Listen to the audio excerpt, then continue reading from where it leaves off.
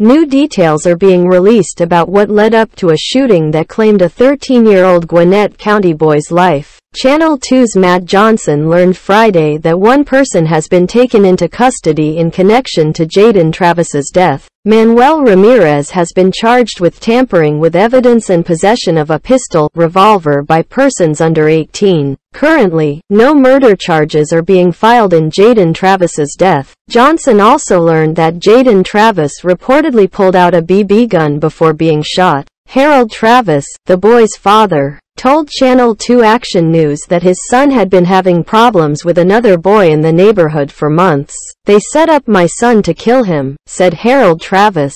They came over here. They jumped him one time. I had to jump in the fight because that's my baby. It's just senseless. Harold Travis said the same group showed up at his home on February 15. When they pulled up, he says his son ran outside armed with a BB gun, but the others had a real gun. Jaden Travis was shot in the street and died at the hospital from his injuries. They just destroyed my life when they took my son and shot him, Harold Travis said.